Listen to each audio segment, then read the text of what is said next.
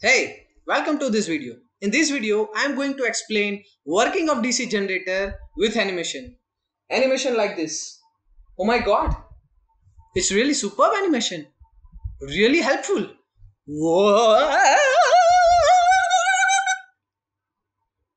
It was shock.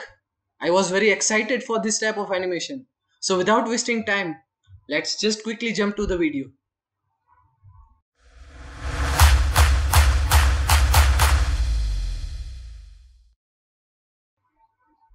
So first of all, I'll tell you assembly of generator. We'll assemble this generator and then we'll understand the working of this generator. So this is the frame. Inside this frame, we'll mount the poles. Once the poles are mounted, we'll place a shaft. Basically, this shaft is mounted on end housing, bearing and then shaft. So on this shaft, we'll mount a rotor and in that rotor, there is a rotor winding. Basically, it is known as armature in the case of DC machine. Now let's move ahead. On this pole, we need to place field winding which can be mount like this. Once the field winding is done, we will place commutator segment on the shaft. Once the commutator segment is placed, we will place brush assembly on that commutator segment. Once the brush assembly is ready, we will connect this brush assembly with terminal box. So finally our complete generator is ready. So now let's understand working of DC generator. To understand the working of DC generator, we need to give supply to the field winding. So now let's give current to this field winding. Once current starts flowing, it starts producing a magnetic field. Initially you have seen when there is no current flowing through the coil, there is no magnetic field. And when there is no magnetic field, no N pole, no S pole in the generator. But as current starts flowing according to the direction of current, according to the direction of magnetic field produced, one pole become N pole and the another one becomes S pole. If you want to understand how the N pole and S pole is created, then write that thing in comment section below and I'll make animated video on that topic. Now our magnetic field is ready. N pole, S pole, N pole, S pole. There is a rotor. Basically, we'll call it as armature. Now, current is flowing through the field. Magnetic field is produced. But still, there is no EMF induced into the armature. Why it is like this? If any of you knows the answer, then write that thing in comment section below. And if you don't know, then wait a moment. I am going to share the answer. So to understand that thing, let me bring you these two cases with you.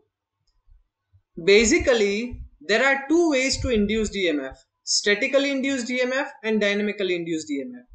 In all rotating type machines, there is a dynamically induced EMF. Now, if you want to produce EMF dynamically, then there are three basic requirement of it. So the first requirement is there has to be a magnetic field. So here our magnetic field is. The second requirement is there has to be a conductor in that magnetic field. So here there is conductor in magnetic field. And the third requirement is there has to be a relative motion in between magnetic field and conductor. So in case A, the magnetic field is static but conductor is moving. And in case B, the conductor is static but magnetic field is moving. Now you think and tell me for our DC generator, which of the case is the right one? A or B? What do you think? Think and write that answer in comment section below. But before moving ahead, let me tell you if you are going to write the answer in comment section below then just hit that that like button just just below that thing. Yes yes yes that one. Yes. So please like this video. In upcoming session i am going to demonstrate the complete animation. So shall we move ahead? Yes? So before going ahead hit that like button done? So let's move ahead.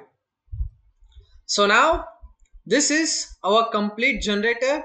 Will give supply to the rotor. Once the supply is given a magnetic field is produced. Once we have this magnetic field but still no emf we have just gone through that we need to give relative motion between the magnetic field and the conductor. That can be achieved using two techniques. Rotor is static and we are rotating magnetic field. Those who have given b answer they are going to implement this thing. Their rotor will be fixed and stator is going to revolve round and round round and round. Like wheels on the bus goes round and round right? So those who have given answer a that is the correct answer right? So basically this rotor will get mechanical input from the prime mover so once prime mover starts rotating this rotor starts rotating so now let's quickly rotate this rotor so once the rotor starts rotating it starts producing EMF. The EMF is produced and the current starts flowing outward direction to the terminal box. So now let me quickly repeat the complete working procedure. First of all, a supply is given to the field. Once the supply is given, current starts flowing and because of that current, a magnetic field is produced. Once we start rotating the rotor into that magnetic field, rotor is rotating and because of the relative motion between the magnetic field and the rotating conductor, EMF is induced in that conductor. The amount of induced EMF will be equal to V is equal to BLV sine theta. How to derive that equation? There is a separate video for that and the link I'll provide in description box. So once the EMF is induced into the rotor conductor, it is taken out using this commutator brush assembly. And then finally the current is delivered to the terminal box. And on that terminal box, whatever EMF we are getting, whatever voltage we are getting on that terminal box, the waveform of that voltage is like this you can see that waveform above here. So observing this waveform, there is a question in your mind that we have understood that whenever the EMF is induced using this type of logic, that EMF is AC in nature because this machine is rotating. So there has to be AC in nature, right? If you want to understand how actually alternating EMF is produced. How actually the rotation of rotor produced AC EMF, alternating EMF. Then there is a separate animated video for that and link I will provide in description box. You can watch that video later on.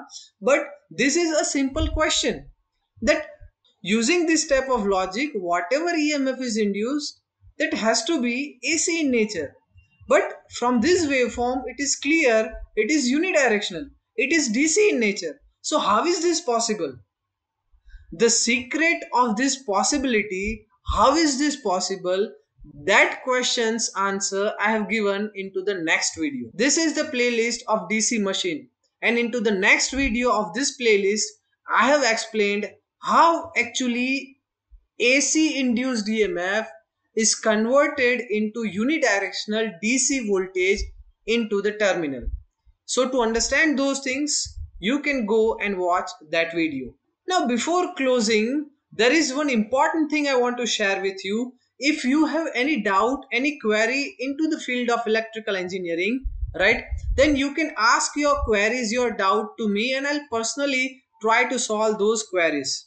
You can connect with me on Instagram or not even with me, but you can connect with our Learning Vibes Learning community on telegram on instagram or on facebook. So whatever your preferred social media you can connect with us on any of these media. And whenever you have any question you can post your question there and i'll try to solve your question as soon as possible right? So you can connect with us on any of this social media platform for better learning purpose right?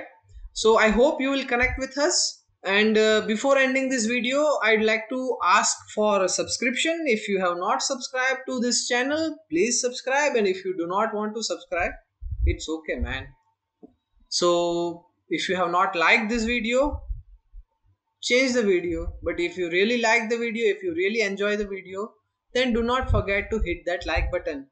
And if you want to share any of your views with me comment section is always open.